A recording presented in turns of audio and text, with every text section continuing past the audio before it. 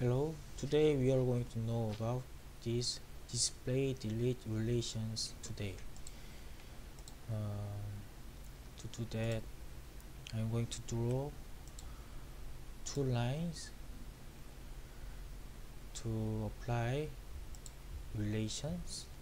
So add relation, you can click this and click this one then it shows which entities are, are selected.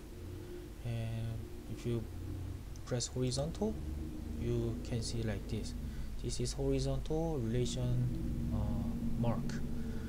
And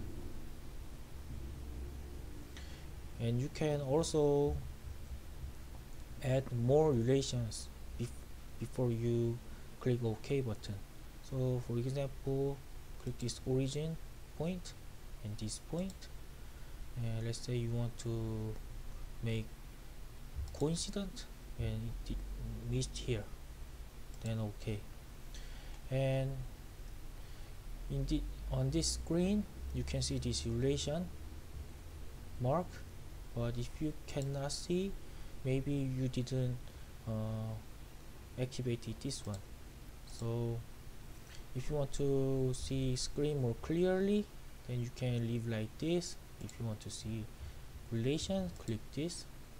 So if you want to move this you can actually move because the uh, point of this line and origin is coincident right now. So now let's uh, do about delete relations. And click this line. And you can see this uh, coincident icon. So simply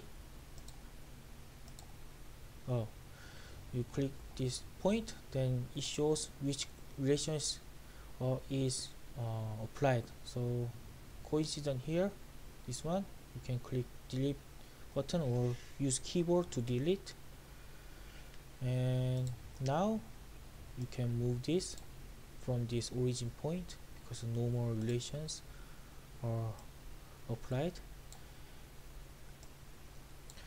And let's draw a circle. And let's do add relations. And this arc is uh, selected here already. And click this line. Uh, and then let's click tangent. Now this is tangent here and here. Uh, is a projected line. So um, okay control Z.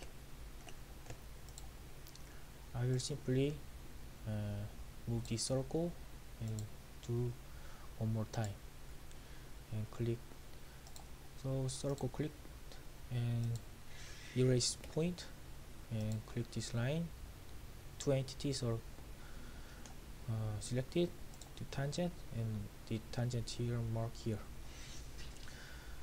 So you can as I showed you you can delete uh, relations from here by clicking delete button or clicking your keyboard delete button or you can directly click this one and select keyboard and select delete keyboard and no more tangent are applied.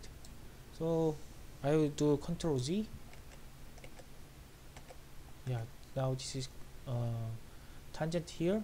So you cannot move circle because tangent is applied. So delete this tangent.